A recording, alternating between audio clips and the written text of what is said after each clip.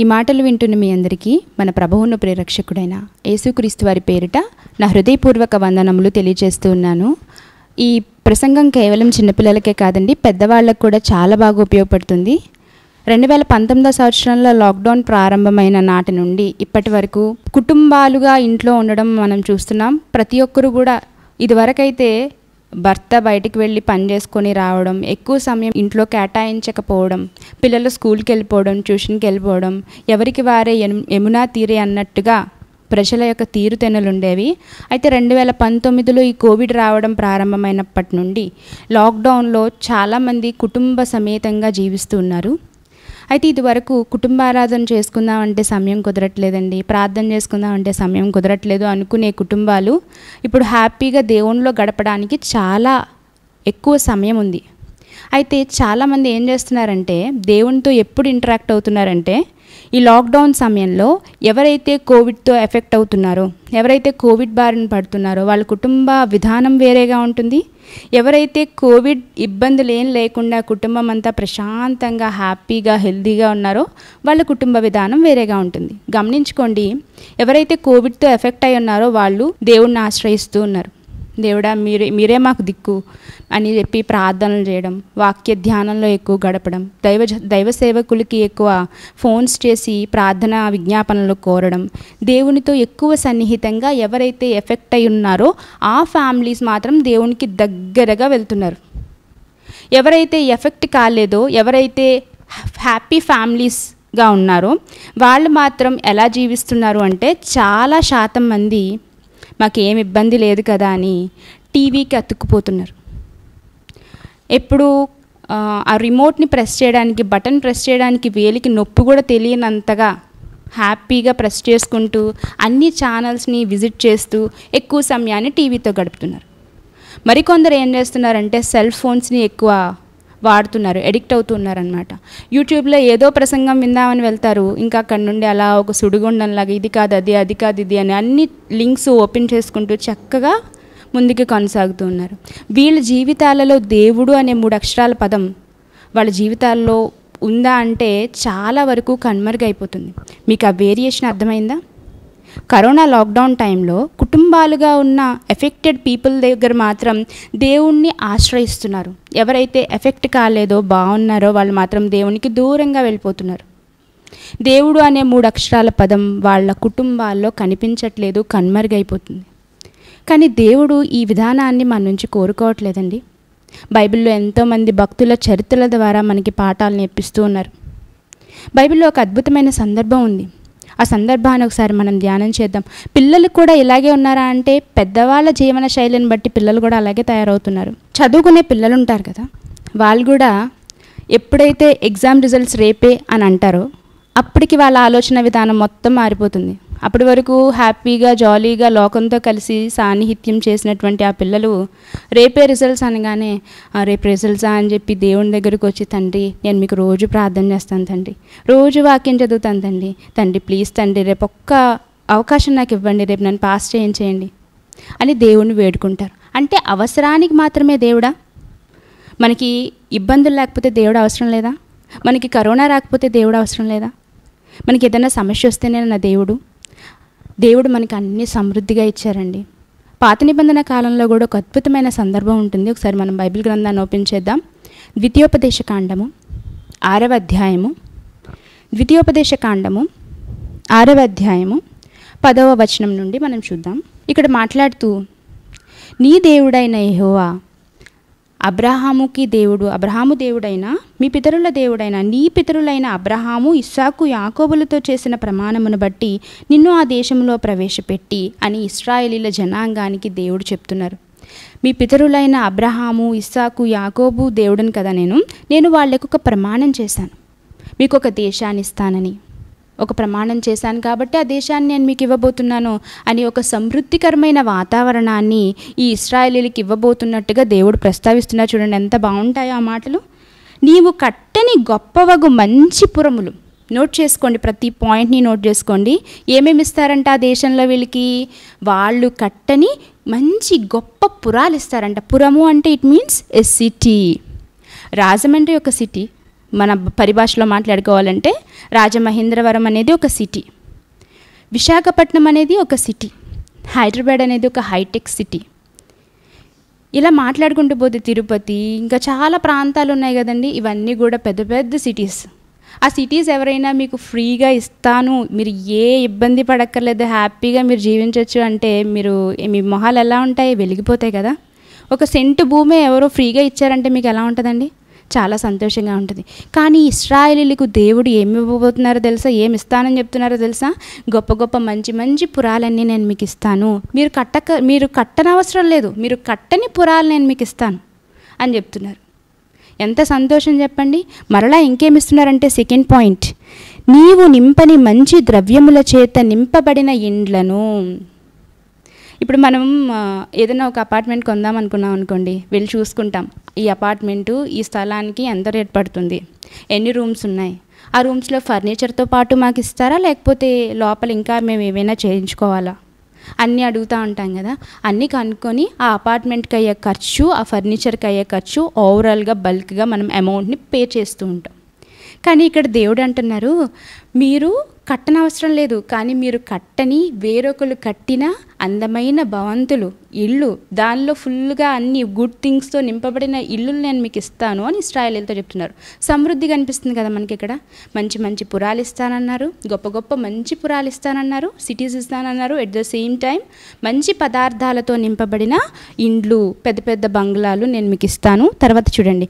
నీవు త్రవ్వకపోయినను త్రవ్వబడిన బావులను ఇప్పుడు water facility కూడా మనకు ఉండదు ఆ ఇళ్ళల్లో వాటర్ ఫెసిలిటీస్ బాగున్నాయా లేదా అని మనం చూసుకుంటాం కదా ఏదైనా ఇంటి గృహప్రవేశం చేసుకునేటప్పుడు అపార్ట్మెంట్ కనుక్కునేటప్పుడు ఆ ఇంట్లో వాటర్ ఫెసిలిటీ ఉందా వాటర్ ప్రాబ్లమ్స్ ఏవైనా ఉన్నాయా అని మనం చూసుకుంటాం. ఇక్కడ దేవుడు చెప్తున్నారు మీకు నేను ఇచ్చే ఆ పురాలలో మీకు నీటి సమస్య నీటి కొరత కూడా ఉండదు. మీరు తవ్వనవసరం లేదు కానీ ఆల్రెడీ తవ్వబడిన ఆ బావులు నేను మీకు ఇస్తాను. థర్డ్ పాయింట్ ఇంకా ఫోర్త్ పాయింట్ చెప్తున్నారు చూడండి. నీవు నాటని ద్రాక్ష తోటలను ఒలీవల తోటలను నీకు ఇచ్చిన తరువాత నీకు ద్రాక్ష తోటలు ఇస్తాను ఒలీవ తోటలు ఇస్తాను మీకు ఆ ఫోర్ పాయింట్స్ అర్థమయ్యాయా? ఒకవేళ ఈ ప్రసంగం చిన్నపిల్లలు వింటున్నా వాళ్ళకి కూడా స్పష్టంగా అర్థమయ్యే విధంగా నేను కోట్ చేస్తున్నాను. నాలుగు పాయింట్స్ చెప్పారు ఇక్కడ. ఫస్ట్ పాయింట్ ఏంటి? కట్టక కట్టని మీరు కట్టని గొప్ప గొప్ప మంచి మంచి పురాలు ఇస్తాను సెకండ్ పాయింట్ మంచి మంచి పదార్థాలతో నింపబడిన ఇండ్లను ఇస్తాను మీరు త్రవ్వకపోయినా త్రవ్విన బావులను నేను మీకు ఇస్తాను. ఫోర్త్ వన్ ఒలీవ తోటలను ద్రాక్ష తోటలను మీరు నాటకపోయినా ఆ సమృద్ధికరమైన దేశాన్ని నేను మీకు ఇవ్వబోతున్నాను. ఒకవేళ ఇచ్చిన తర్వాత ఆ సమృద్ధిలోనికి మీరు వెళ్ళిన తర్వాత మీరు ఏం చేయాలి? నీవు తిని తృప్తి పొందుతావు కదా? నీవు సాటిస్ఫై అవుతావు కదా అన్నిటితో? అప్పుడు పన్నెండవ వచనం చూడండి. దాసుల గృహమైన ఐగుప్తు దేశంలో నుండి నిన్ను రప్పించిన యహోవాను మరువకుండా నీవు జాగ్రత్త పడుము. అన్నీ పొందుకున్న తర్వాత నేను నీకు అన్నీ సమృద్ధిగా ఇస్తాను. నువ్వు సాటిస్ఫై అయ్యే విధంగా ఇస్తాను. అయితే నువ్వు అన్నీ పొందుకున్న తర్వాత యహోవానైనా నన్ను మాత్రం నువ్వు మర్చిపోవద్దు. ఆ విషయంలో నువ్వు జాగ్రత్తగా ఉండు అని చెప్తున్నారు. నీ దేవుడైన యహోవాకు భయపడి ఆయనను సేవించి ఆయన పేరిట ప్రమాణము చేయవలెను అని ఆయన గూర్చి మర్చిపోవద్దని చెప్తున్నారండి. మీ చుట్టుపక్కల ఎంతోమంది అన్యజనాంగం ఉన్నప్పటికీ ఆ కాలంలో ఇస్రాయిల్తో చెబుతూ మీ చుట్టుపక్కల ఎంతోమంది అన్యజనాంగం ఉన్నప్పటికీ వాళ్ళ యొక్క దేవతలకు మీరు ఆరాధించొద్దు. ఎందుకంటే నేనే కదా మిమ్మల్ని ఐగుప్తు దేశం నుండి ఇక్కడికి నడిపిస్తున్నాను. కాబట్టి నన్ను మాత్రం జ్ఞాపకం పెట్టుకోండి. ప్రిలరా ఎవరైనా మనకు ఒక ఇంటిని గిఫ్ట్గా ఇచ్చారనుకోండి వాళ్ళని మనం గుర్తుపెట్టుకుంటాం కదా. ఎవరైనా ఒక సెంటు భూమి మనకి ఇచ్చారనుకోండి ఫ్రీగా మనం వాళ్ళని గుర్తుపెట్టుకుంటాం. ఎప్పటికీ మర్చిపోం ఆ ఇంట్లో ఉన్నంతకాలం మనకి వాళ్ళు గుర్తొస్తూనే ఉంటారు. కానీ దేవుడిచ్చిన ఊపిరిని మనం తీసుకుంటున్నాం. దేవుడిచ్చిన సమృద్ధిలో మనం జీవిస్తున్నాం. దేవుడిచ్చిన ఆ కృపలో మనం జీవిస్తూ ఉన్నాం. తాగడానికి నీరు తినడానికి ఆహారం కట్టుకోవడానికి బట్ట ఉండడానికి ఇల్లు ఏ లోటు మనకి లేదండి. లేవరికంలో ఉన్న వాళ్ళకి కూడా ప్రభుత్వం తినడానికి ఆహారాన్ని ఇస్తుంది. ఆహార పంపిణీ చేస్తుంది. ధాన్యం ఇస్తుంది బియ్యం ఇస్తుంది. ఏ ఇబ్బంది లేకుండా ప్రభుత్వం ఆదుకుంటుంది. దేవుని యొక్క కృప లేకుండా ప్రభుత్వానికి ఆ ఆలోచనలు కూడా రావు కదా. సో దేవుడు మనందరినీ చాలా సమృద్ధిలో ఉంచారు. అయితే మనం ఏం చేయాలి? ఈ సమృద్ధిలోనికి తీసుకెళ్ళబోతున్నాననే విషయం చెప్తూ మీరు జాగ్రత్తగా ఉండండి నన్ను గుర్తుపెట్టుకోండి అని చెప్తున్నారు ఇస్రాయిలీలకి. ఈరోజు ఆ మాట మనకు కూడా వర్తిస్తుంది కదండి. ఆ కిందని చెప్తారు పదహారవ వచనాన్ని ఒకసారి చూడండి. మీరు మస్సాలో మీ దేవుడైన యహోవాను శోధించినట్లు ఆయనను ఇక మీదట మీరు శోధింపకూడదు. మీ దేవుడైన యహోవా ఆజ్ఞలను అనగా ఆయన నీకు నియమించిన శాసనములను కట్టడలను జాగ్రత్తగా ఆచరింపవలెను. సో మీరు నన్ను ఆరాధించాలి? నా విషయంలో మీరు జాగ్రత్తగా ఉండాలి. నన్నే మీరు ధ్యానంలో ఉంచుకోవాలి జ్ఞాపకంలో ఉంచుకోవాలని చెప్తూ ఎక్కడో గతంలో జరిగిపోయిన ఒక మస్సా సందర్భాన్ని దేవుడు జ్ఞాపకం చేసుకుంటున్నారు. ఆ మస్సాలో నేను చాలా ఇబ్బంది పడ్డాను. మీ వల్ల చాలా శోధింపబడ్డాను నేను. చాలా బాధకు గురి చేశారు మీరు నన్ను అని మాట్లాడుతూ అటువంటి శోధనను మరలా నాకు మీరు కలిగించకండి. మీరు ఆ దేశంలోనికి వెళ్ళిన తర్వాత నన్ను మీరు ఆరాధించాలి. ఆ విషయంలో మీరు జాగ్రత్తగా ఉండండి అని చెప్తున్నారు. ఒకసారి మస్సా అంటే ఏంటో మీకు ఆల్రెడీ ఐడియా ఉందనుకుంటున్నాను. నిర్గమకాండం పదిహేడవ అధ్యాయం ఒకసారి ఓపెన్ చేయండి. నిర్గమకాండం పదిహేడవ అధ్యాయం ప్రారంభం నుండి మనం చూస్తే ఇక్కడ ఇస్రాయేలీలు ఐగుప్తు దేశం నుంచి పాలు తేనెలు ప్రవహించు కనాను దేశానికి వెళ్ళే ఆ క్రమంలో సీను అనే ఒక అరణ్యం ఆ అరణ్య ప్రాంతం నుంచి రెఫీదీము అనే ఇంకొక ప్రాంతానికి వెళ్ళి ప్రయాణం చేస్తూ ఉన్నారనమాట ఆ క్రమంలో వీళ్ళకి విపరీతమైన దాహం వేస్తుంది. విపరీతమైన దాహం వేస్తే మోషే గారిని అడుగుతారనమాట మోషే అది క్యాజువల్గా అడిగితే వేరే విషయం అండి. దేవుడి మీద నమ్మకం ఉంచి మాకు దాహం వేస్తుంది తండ్రిని వేడుకో అని అడిగితే వేరేగా ఉంటుంది. కానీ దేవుడు అనేవాడు ఉన్నాడా? నిజంగా దేవుడు అనేవాడు ఉంటే మాకు నీళ్ళు ఇమ్మని చెప్పు ఉన్నాడో లేదో ఎవరికి తెలుసు? మమ్మల్ని నడిపిస్తుందా? ఆయనో కాదో? మమ్మల్ని ఐగుప్తులో ఉంచేస్తే మాకు ఈ బాధ ఉండదు కదా అని అని సనుక్కుంటున్నారు వాదిస్తున్నారు మోషేతో. దేవుణ్ణి శోధిస్తున్నారు. అటువంటి సందర్భంలో కూడా మోషే గారు దేవునికి ప్రార్థన చేసినప్పుడు వాళ్ళని క్షమించి ఆ బండ వైపు ఆ బండతో మాట్లాడితే ఆ బండ నీరుస్తుంది మోషే అని చెప్తే ఆ హోరేబు కొండ దగ్గర నుంచి ఆ బండను కొడతారు మోషే గారు. తర్వాత దాని నుంచి నీరు ప్రవాహంగా వస్తుంది. ఇస్రాయలీల దాహం తీరుతుంది. ఈ సందర్భం అంతా జరిగింది. జరిగిన తర్వాత మోషే గారు ఏం చేస్తారంటే ఈ ప్లేస్లో నేను చాలా వాదించారు. ఇస్రాయలీలు నాతో చాలా వాదించారు. దేవుణ్ణి విపరీతంగా శోధించారు కాబట్టి ఈ ప్లేస్ని నేను ఒక పేరుతో నేను పిలుస్తాను అనే ఒక పేరు పెడతారండి. చూడండి. ఏడవ వచనము. పదిహేడవ అధ్యాయము ఏడవ వచనం. ఇప్పుడు ఇస్రాయేలీలు చేసిన వాదనను బట్టి యహోవ మన మధ్య ఉన్నాడో లేదో అని వారు యహోవాను శోధించుటను బట్టి అతడు ఆ చోటికి మస్సా అనియు మెరీభా అనియు పేర్లు పెట్టారంట. మస్సా అంటే కింద నోట్బుక్లో ఒకసారి ఏముందో చూడండి. శోధించుట. దేవుని శోధించారు. మెరీబా అంటే వాదము. సో చిన్నపిల్లలు కనుక ఈ ప్రోగ్రాం వింటుంటే ఈ మస్సా సందర్భాన్ని చక్కగా నోట్ చేసుకోండి. మస్సా అంటే శోధించుట మెరీబా అంటే వాదించుట. ఇటువంటి పదాలతో ఇక్కడ రాయబడింది. అంటే గతంలో ఒక సమృద్ధిని దేవుడు ఇస్తానని చెబుతూ భవిష్యత్తులో మీరు ఎప్పుడు నన్ను శోధించకండి. ఆ దేశంలోనికి వెళ్ళిన తర్వాత మీరు ఎప్పుడు నన్ను శోధించకండి. మస్సాలో నన్ను శోధించారు కదా అలా మీరు నన్ను శోధించొద్దు అని చెప్తూ మస్సా సందర్భాన్ని మనకి జ్ఞాపకం చేస్తున్నారు. ప్రిలరా దేవుడు ఇస్తున్నటువంటి సమృద్ధిని సమృద్ధిగా స్వీకరిస్తున్న మనం అన్నీ స్వీకరిస్తున్న మనం దేవుణ్ణి గుర్తుపెట్టుకుంటున్నామండి? అన్ని వేళలా దేవుణ్ణి గుర్తుపెట్టుకుంటున్నామా?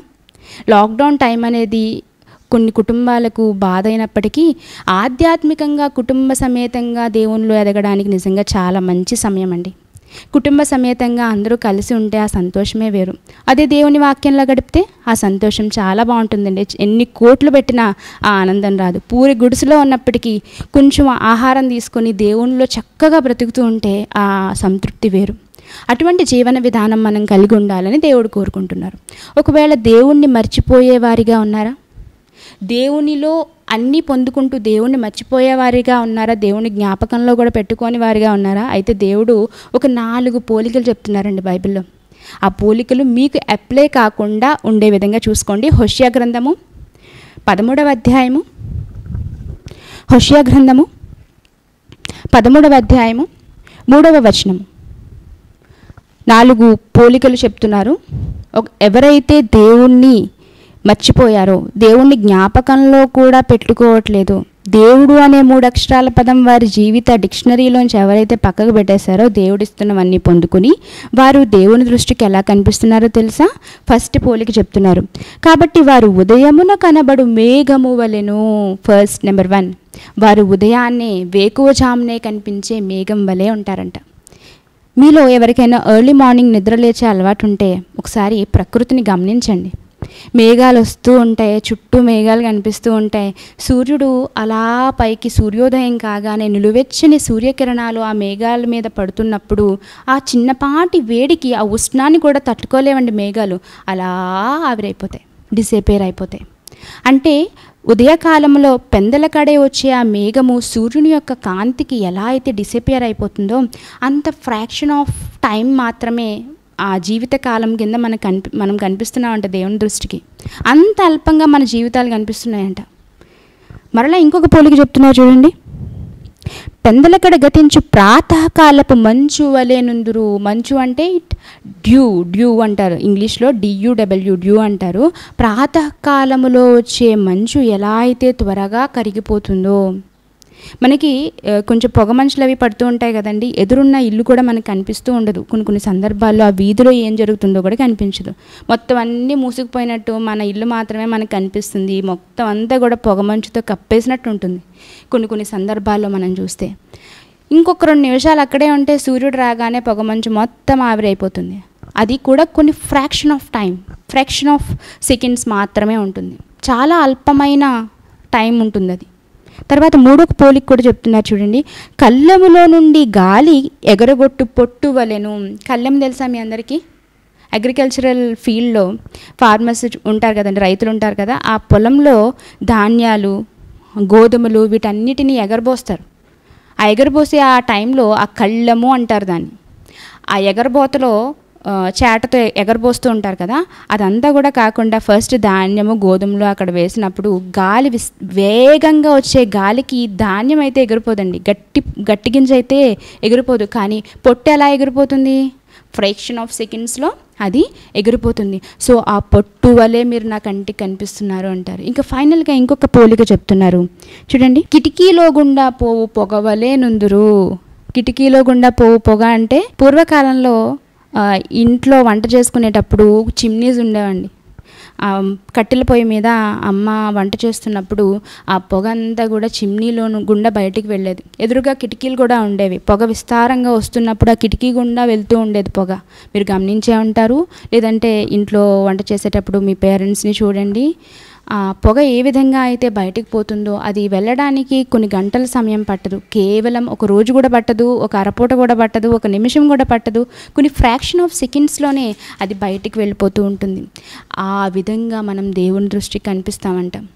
అటువంటి అల్పమైన జీవితాలు కదా మీవి. మీరు అన్ని సమృద్ధిగా పొందుకున్నారు నన్ను విడిచిపెడుతున్నారు అని దేవుడి నాలుగు పోలికలతోని వాళ్ళని పోలుస్తూ ఉన్నారు.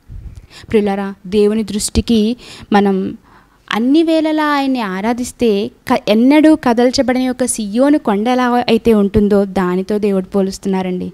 ఎప్పుడైతే చిన్నపాటి సమస్య వచ్చినప్పుడు మాత్రమే దేవుణ్ణి ఆశ్రయిస్తే చిన్నపాటి ఇబ్బంది వచ్చినప్పుడు మాత్రమే దేవుణ్ణి మనం వేడుకుంటూ ఉంటే ధ్యానిస్తూ ఉంటే కరోనా తగ్గాలి తండ్రి ప్రా ప్రార్థన చేసేస్తూ ఉంటారు.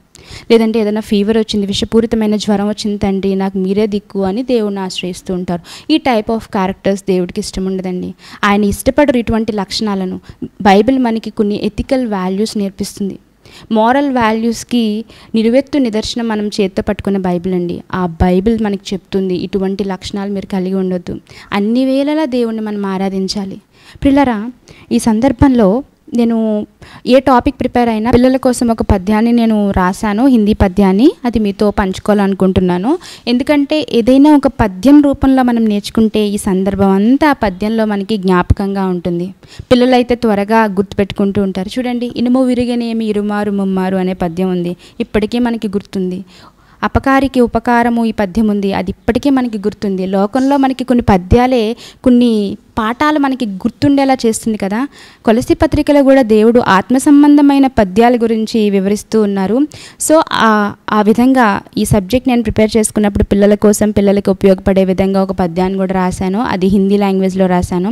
ఎందుకు ఇలా ఇంగ్లీష్ హిందీ తెలుగు పూర్తిగా తెలుగులోనే చెప్పచ్చు కదా అని చాలామంది అనుకుంటారు. కానీ మన పిల్లలకి డిఫరెంట్ డిఫరెంట్ లాంగ్వేజెస్ రావడం వల్ల వాళ్ళు ఎక్కడికి వెళ్ళినా దేవుని జ్ఞానాన్ని చక్కగా అర్థం చేసుకోగలరు. ఆ వివిధ భాషల వాళ్ళతో కూడా చక్కగా మాట్లాడగలరు. జ్ఞానాన్ని పంచుకోవడానికి ఉపయోగపడుతుందని నేను రాశాను. ఒకసారి చాలా ఈజీగా ఉంటుంది వినండి. భగవాన్ కో బూలనా జో కోయి? భగవంతుడిని ఎవరైతే మర్చిపోతారో ఎవరైతే జో కోయి అంటే ఎవరైతే భగవాన్ కో బూలన మర్చిపోతారో దేవుణ్ణి వాళ్ళు శుభహకి దూన్ ఉదయాన్నే వచ్చే మేఘంతోనూ ఓస్ జో జల్దీ చలి జాతి. మంచు ఎలా అయితే త్వరగా పోతుందో గతించిపోతుందో దానితోనూ. తర్వాత బూసీ జో కలీహాన్. కలీహాన్ అంటే కలిహాన్ అంటే కళ్ళెము. కళ్ళెములో నుండే ఒక పొట్టు ఉంటుంది కదా ఆ పొట్టు ఎలా అయితే దూర్ధుమాతి గాలికి ఎగిరిపోతుందో దానితోనూ. కిడికీసే ధువాం కిటికీలో నుండి పోయే పొగతోనూ సమానము అని ఈ పద్యాన్ని నేను ఒకసారి పాడతాను. మీరు చక్కగా వినండి ప్రాక్టీస్ చేయండి. భగవాన్ కో బూలా జో కోయి. भगवान को भूलना जो कोई सुबह की दून ओस जो जल्दी चली जाती। सुबह की दून ओस जो जल्दी चली जाती। भूसी जो कलिहान से दुमाती है। भूसी जो कलिहान से दुमाती है। खिड़की से दुआम के समान है। खिड़की से दुआम के समान है। भगवान को भूला जो कोई, भगवान को भूला जो कोई। सुबह की दून उस जो जल्दी चली जाती। सुबह की दून उस जो जल्दी चली जाती, भूसी जो कलिहान से दुमाती है, भूसी जो कलिहान से दुमाती है, खिड़की से दुआम के समान है, खिड़की से दुआम के समान है। भगवान को भूला जो कोई భగవాన్ కో బూలా జో కోయి సో ఈ పద్యాన్ని మీరు ప్రాక్టీస్ చేయండి తర్వాత ఈ పద్యం ఎప్పుడు జ్ఞాపకం చేసుకున్నా దేవుణ్ణి మనం ఎప్పుడు మర్చిపోకూడదు దేవుణ్ణి మర్చిపోతే మనం కిటికీ గుండా వెళ్ళే ఒక పొగతో లేదా కళ్ళల్లో గాలికి ఎగిరిపోయే ఒక పొట్టుతో ఆ, లేకపోతే ఒక ప్రాతకాలమున వచ్చే మంచుతో ఉదయకాలంలో వచ్చే మేఘంతో ఎలా అయితే అవి ఫ్రాక్షన్ ఆఫ్ సెకండ్స్లో ఎగిరిపోతాయో మాయమైపోతాయో మన జీవిత కాలం కూడా దేవుని దృష్టికి అలాగే ఉంది. ఆయన ఆ దేశంలోనికి వెళ్ళిపోయినా వాళ్ళని నేను మిమ్మల్ని నశింపజేస్తాను నశింప చేయగలను అని దేవుడు చెప్తున్నారు. అలాగే మన జీవిత కాలం అంతా కూడా దేవునికి ఇష్టమైనట్టుగా జీవిస్తే దేవుడు మనకి మనం కట్టని ఒక పురాణి దేవుడు మనకి ఇవ్వాలి అనుకుంటున్నారు. అదే పరలోకం. పునాదులు గల ఆ పట్టణం దేవుడు మన కోసం ఇవ్వాలనుకుంటున్నారు. దాన్ని సంపాదించుకోవడానికి కుటుంబ సమేతంగా కష్టపడండి. కష్టాలు వచ్చినప్పుడు మాత్రమే దేవుణ్ణి ఆరాధించకుండా కష్టంలోని సుఖంలోని బాధలోని దుఃఖంలోని సమృద్ధిలోని కూడా దేవుణ్ణి ఆరాధించే గొప్ప గొప్ప భక్తుడైన మనకి యోబు గారి జీవితం ఇంకా ఎంతోమంది భక్తుల జీవితం మనకి ఒక పాఠంగా కనిపిస్తుంది. వారిని మనం స్ఫూర్తిదాయకంగా తీసుకుందాం. అనేకులకు మనం స్ఫూర్తిగా ఉందాం. లాక్డౌన్ టైంని దేవుని కోసం ఉన్నతంగా మీరు సద్వినియోగం చేసుకోండి. అటువంటి వారిగా మీ కుటుంబాలు ఉండాలని కోరుకుంటూ నా మాటలు ముగిస్తున్నాను. అందరికీ వందనములు.